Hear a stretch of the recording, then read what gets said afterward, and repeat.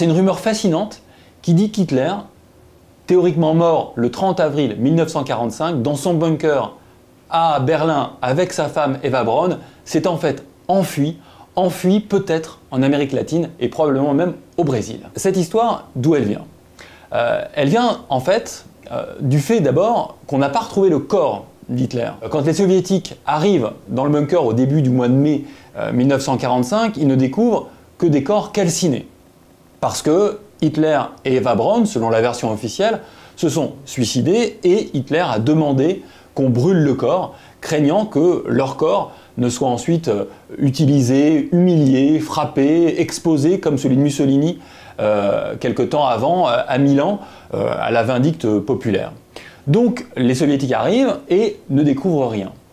Mais si la rumeur s'est enquistée et s'est développée, en fait, ça tient largement à un homme, et cet homme, c'est Staline. Parce qu'en réalité, très tôt, au mois de mai, Staline a la certitude que ce corps, c'est bien celui d'Hitler. Il le sait parce qu'il a fait venir l'assistante euh, du dentiste d'Hitler qui a pu analyser la dentition du corps, puisque les dents résistent euh, résiste au, feu et résiste à l'embrasement du corps. Et elle est persuadée, elle dit, c'est Hitler. Donc Staline est au courant. Mais lorsqu'il reçoit une délégation américaine d'alliés occidentaux, il fait courir la rumeur qu'on n'en sait rien, que c'est pas Hitler peut-être, qu'il y a même des bruits selon lesquels Hitler se serait enfui via Hambourg, les sous-marins, l'Amérique latine probablement. Et cette rumeur, entretenue savamment euh, par Staline, par l'absence du corps, par l'absence de reste, par aussi par la sidération, parce que pour beaucoup, Hitler ne peut pas mourir. Il a survécu à une tentative d'assassinat, ça fait des années qu'il est le monstre absolu, qu'on entend parler de lui tous les jours dans l'actualité, sa disparition, elle est quasiment inenvisageable. Alors cette rumeur, aujourd'hui, elle, elle a plus lieu d'être, et ça fait pas très longtemps. Il y a un médecin légiste, Philippe Charlier, qui s'est fait une spécialité d'analyser des restes de corps humains et d'essayer de comprendre euh, les raisons des morts des corps qu'il va essayer d'analyser dans son laboratoire en France. Il a eu la chance de pouvoir avoir accès au reste d'Hitler en Russie. Donc il a eu la chance de pouvoir regarder la mâchoire, la dentition d'Hitler. Et, même, le, crâne. Il est persuadé que ces dents sont les dents d'Hitler.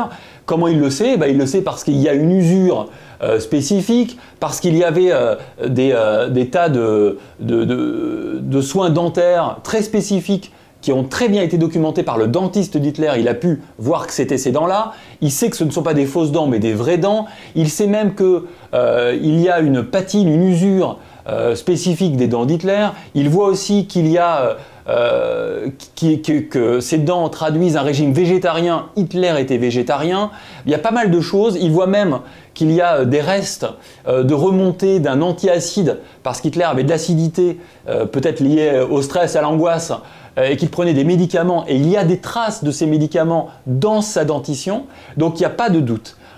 Il a aussi appris une chose intéressante, c'est comment Hitler est mort. Et ça, il le voit en regardant la boîte crânienne d'Hitler. On a longtemps pensé qu'Hitler s'était tiré une balle dans la bouche, et lui dit pas du tout. Il y a un trou euh, dans la tête, il s'est donc très certainement, selon Philippe Charlier, tiré une balle dans la tête. Voilà comment, aujourd'hui, près de plus de 70 ans après, on, apprend encore des choses sur les modalités de la mort d'Hitler.